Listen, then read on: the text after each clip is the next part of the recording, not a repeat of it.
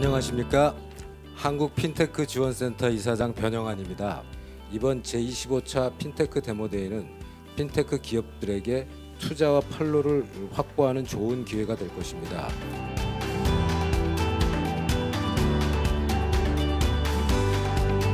저희 웰시콘은 건강과 금융 정보를 융합해서 사람들의 더 나은 삶을 지원하는 서비스를 개발하고 있습니다. 웰시콘이란 이름이 우리나라에 각인될 수 있도록 더 열심히 노력하겠습니다.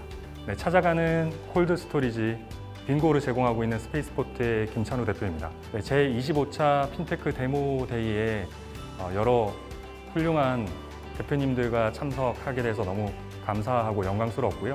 여러 심사님들께서 저희 서비스에 대해서 어, 얘기해 주신 여러 가지 얘기들 어, 저희 서비스에 담도록 노력하겠습니다.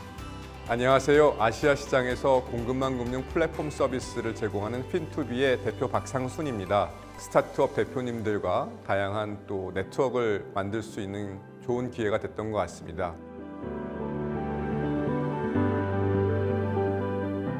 핀테크 스타트업의 혁신적인 사업 모델과 아이디어들이 디지털 금융 혁신의 촉매제가 될 것이라고 확신하며 아낌없는 지원을 통해 그 혁신에 힘을 보태어 주시기 바랍니다.